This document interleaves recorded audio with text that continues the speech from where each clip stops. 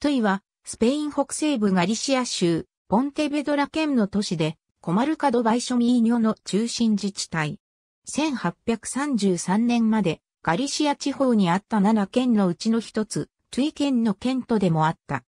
ガリシア統計局によると、2013年の人口は16,827人。住民故障は男女同型で、ツデンセ。カスティーリャ語表記はトゥーヒー。ガリシア語話者の自治体人口に占める割合は86.36%。トゥイは、ポンテベドラ県の南西部に位置し、コマルカドバイショミーニョに属する。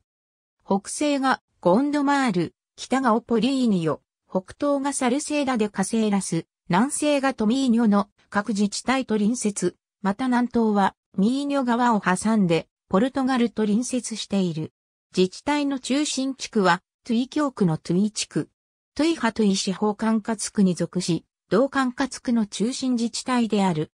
この地域に人が住み始めたのは、戦死時代からで、BE 越えの高速道路建設中に、前期旧石器時代のものと推定される定住跡が発見されている。ミーニョ川の渓谷は肥沃で、太古の時代からこの地域の定住者の食料採集に適していたと考えられる。旧石器時代の遺跡がミーニョ川及びその支流のローロ川の斜面の段丘に残されている。新石器時代のものとしては、カラスケーラの斧や巨石遺跡などがある。6000年前には金属の加工が始まり、その時代の遺物として、聖堂の兜やカルデラスデトゥイ教区で発見された斧やランドゥフェ教区のペトログリフなどがある。自治体首長はガリシア国民党のモイセス・ロドリゲス・ペレス、自治体評議員は、ガリシア国民党、9、AT、T、3、ガリシア社会党、2、ガリシア民族主義ブロック、2、C21、1となっている。交通の便は、陸上、海上、航空とも恵まれた条件にある。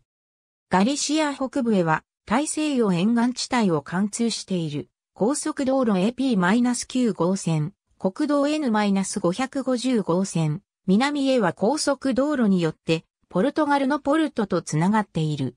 鉄道の駅は2つあり、中央駅は B ごと、そして国際橋を経て、ポルトガルとつながっている。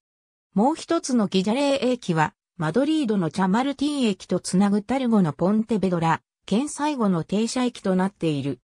また、国際線も発着するビーゴ空港へは 25km の距離である。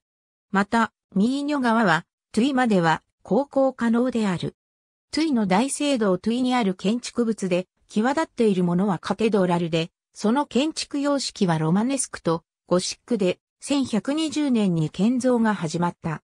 特に西側の門は見事で、1225年前後に建てられたもので、イベリア半島で最初のゴシック建築である。トゥイは12の教区に分けられる。太字は自治体中心地区のある教区。ありがとうございます。